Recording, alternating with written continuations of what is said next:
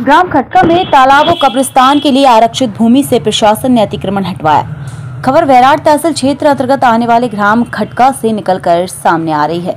बैराट तहसीलदार दुर्गपाल सिंह ने जानकारी देते हुए बताया कि बैराट तहसील के अंतर्गत आने वाले ग्राम खटका में शासकीय ज़मीन पर वर्षों से चले आ रहे अतिक्रमण को हटवाकर अतिक्रमण मुक्त करने की कार्यवाही प्रशासनिक अमले द्वारा की गई। बैराट तहसीलदार दृकपाल सिंह वेश, नायब तहसीलदार बी के शर्मा, पटवारी सहित प्रशासनिक अमले ने गाँव में जाकर गाँव में समस्त ग्राम वासियों से शासकीय प्रयोजन की उक्त ज़मीन पर कोई भी व्यक्ति जुताई, किसी भी प्रकार की फ़सल बोने कोटरी भवन आदि निर्माण नहीं करने की गाँव में मुनादी कराई गई। बेदखली एवं मुनादी के बाद कोई भी ग्रामीण अतिक्रमण करता है तो उसके खिलाफ तत्काल कार्यवाही की जाएगी।